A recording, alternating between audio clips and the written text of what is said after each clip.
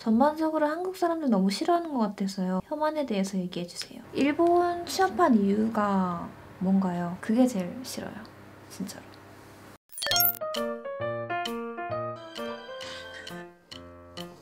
영상을 올린 지 한 달이 넘었는데 이제야 찍습니다.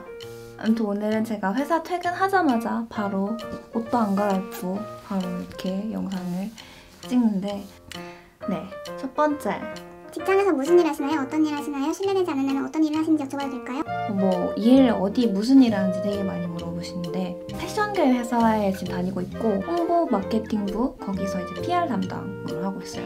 주 업무는 회사 공식 SNS 이런 거 담당하고 잡지사에 뭐 상품 내거나 뭐 그런 일도 하고 요즘에는 한국어 번역 노예 그냥 계속 SNS 잡고 거기 글 쓰는 일 그게 메인이에요. 유튜브를 시작하게 된 계기가 무엇인가요? 회사에서 유튜브 규제 안 하나요? 일단 회사에서 규제는 안 하고요. 전혀 사람들도 아시는 분들도 있고 해서 전혀 터치 같은 건 안 하고 그냥 일본 관련 유튜브를 보다가 나도 왠지 할 수 있을 것 같아가지고 시작을 했는데 첫 한 달 구독자가 한 달 동안 30명인가 그랬죠. こんにちは。たまに関西弁が入るのはどうしてですかアクセントが関西風なのはどうしてですか 네, 大阪の人と付き合ったので彼の喋り方とかそういう口癖とか多分それが映ったせいじゃないかな。好きな男性のタイプを教えてください。好きな男性のタイプが知りたいです。髪型とか体格とか性格とか어떤남자스타일을좋아하시나요 見た目だけだと日本だと加瀬亮なんか地味なかっこよさ が好きかな彫刻みたいなめちゃくちゃ誰がどう見てもイケメンはそこまで好きじゃない 개인적인 취향으로 일본인이 조금 더 맞는 스타일 같으세요? 아니면 한국인이 맞는 스타일 같으세요? 国の問題じゃなくて本当に人柄だと思うので日 本人って LINE とかあんまりしないし自分のプライベートの方が大事にしてるみたいなそういう話もあるんですけど私が前付き合った子は毎日毎日2時間ぐらい電話して付き合いたては23年ぐらい経っても毎日電話しないといけないタイプてかこれ取れてる 단기간에 일본어가 일본어를 상승할 수 있는 팁 일본인을 사귀면 됩니다. 청해 공부 팁 드라마 많이 보고 귀에 들리는 모든 말을 다 손으로 써보세요. 경어 공부 어떻게 하셨나요? 저는 주위 사람들의 흉내를 되게 많이 냈어요. 특히 제 회사 자리가 제 주위가 CS 그 고객센터 전화 받으시는 분들 있죠. 이제 그분들이 가까이 있는데 가까우니까 들리잖아요. 말투라든지 경어라든지 그런 거를 좀 똑같이 따라서 말하기도 했고 실제로 이제 그분들이 바쁠 때는 제가 대신 전화를 받기도 해가지고 잘은 못하지만 뭐 예를 들면 お電話ありがとうございますお客様窓口でございますこちらは東京本社でご一括しておりますがこちらでも承りませんいかがなさいましたか 이런 식으로 진짜 못하는데 그냥 흉내만 내는 그런 식으로 하고 있어요 아 더워 저는 굉장히 어색하고 외워서 하는 느낌인데 언니처럼 바로 바로 일본어로 이야기하려면 어떻게 해야 될까요? 어, 이거는 저도 처음엔 그랬어요. 한국어로 생각을 하고 이제 그거를 일본어로 번역을 해가지고 말을 내뱉는 순서였는데 애초에 생각 자체를 일본어로 해버리면 그게 좋은 것 같긴 해요. 初めましていつも動画を拝見させていただいておりますもう何度も言われているとは思いますがまるさんのすごいところは東京人の僕が聞く限り日本語になりが全くないところ。きねよ。ぜひともアクセントあアクセントをなくす方法ってなんかぶっちゃけ言うとまだ普通にアクセント残ってるしうまくないんですけど私は言語を勉強するっていうより芝居をする感じ、うん、周りの人のその話し方とか口癖とかそういうリアクションとか表情とか全てを真似してそう本当になんか芝居をするみたいな感じでしました質問ではないですけど、この人の日本語レベルはちょっとおかしい。関西出身の日本人にしか聞こえない。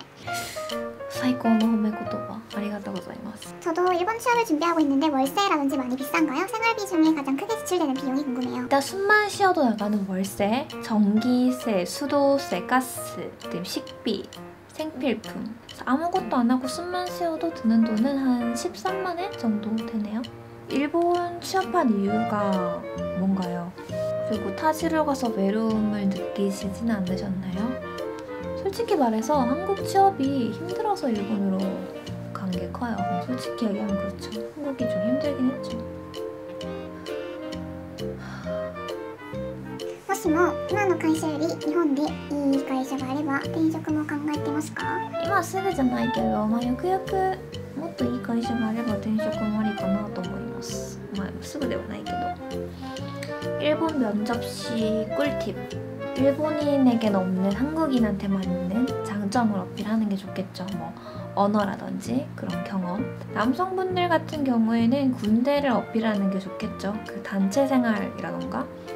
끈기 뭐 그런 것들 전문대 졸업자도 취업 가능한가요? 가능하죠 근데 비자가 5년이 안 나올 수도 있다는 게 문제죠 초반에 제일 적응이 안 됐던 일본 문화가 뭐가 있나요? 일본과 한국의 다른 점, 가장 불편했던 점. 일단 관공서, 은행 이런 게 정말 느려요. 한국에서는 이제 이사 갈 때 전입신고 같은 거를 민원24로 인터넷으로 30분도 안 걸리는데 일본 같은 경우에는 전출 전입이 따로 걸려요. 최소 1시간 이상이 걸려요. 그래서 저는 총 5시간이 걸렸는데 전출 3시간, 전입 2시간, 5시간 걸렸는데 그게 제일 싫어요.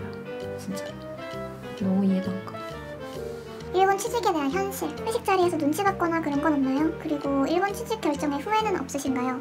저희 회사는 출퇴근 야식 회, 아 야식이래 출퇴근 야근 회식 이런 거 완전 자유라서 전혀 그런 스트레스는 없고요. 근데 이거는 일본 회사가 이런 게 아니라 저희 회사가 그런 거라 가지고 뭐 일본 취직한 거 후회 안 하냐고 하는데 저는 후회 안 합니다.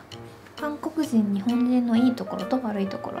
国で判断するのはちょっと難しいんですけどうん韓国人のいいところは女王かな。なんかそういう韓国人特有の女王っていう。お店とか行ってお菓子とかそういうのをなんか無料で何度もおかわりできる。そういう女王かな。日本人はなんかちっちゃいことでもありがとうとかすいませんとかそういうお礼を言う人が多いとことがいいと思います ASMR 해주세요 ASMR 일단 건 선풍기를 좀 끄고 이게 마이크가 일반 마이크다 보니까 가까이서 해야 되는데 일본어와 何を話したらいいかなうーん最近暑いですね下手くそすぎ 영상 편집은 어떻게 하세요? 배운 적 있으세요? 촬영은 뭘로 하시나요? 영상 편집은 배운 적 없고 혼자 그냥 했어요. 프리미어 프로를 쓰고 카메라는 캐논 200D. 혐한이 많다고 하는데 생활에 크게 불편한 점은 없으신가요? 전반적으로 한국 사람들 너무 싫어하는 것 같아서요. 혐한에 대해서 얘기해주세요. 私は一回もなかった気がします。あったかもしれないけど少なくとも私が気づくぐらいの喧嘩はなかったと思います 何をしてる時が一番落ち着きますか楽しいですか何もしない時が一番落ち着く일본어 타자 안 헷갈리나요? 도저히 못하겠던데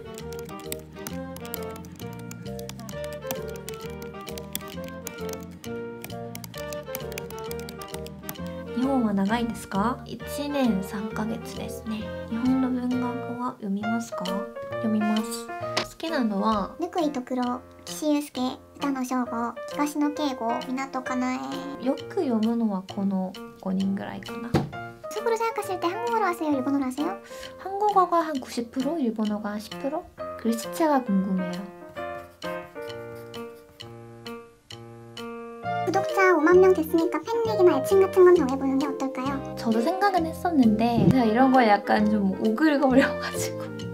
母さんはお元気ですかお美しい娘さんを大変にありがとうございます。とお伝えいただければ幸いです。ちょっと連絡してみますね。あと、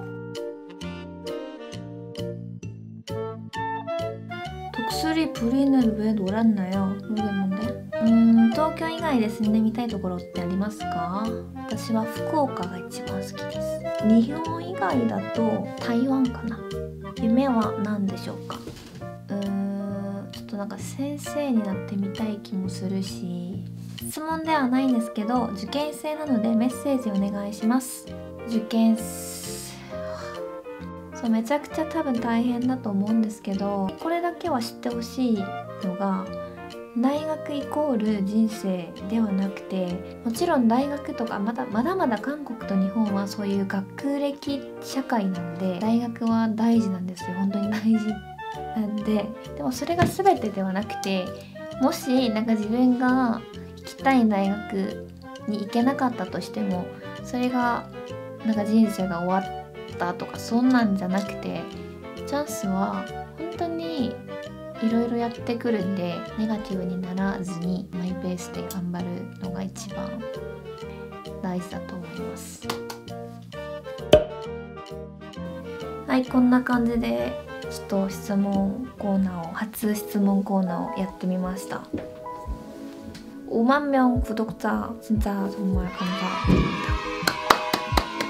앞으로 5만, 6만, 7만, 8만, 9만, 10만 갈 때까지 꾸준히 자주는 못 올려도 영상을 꾸준히 업로드 하도록 하겠습니다.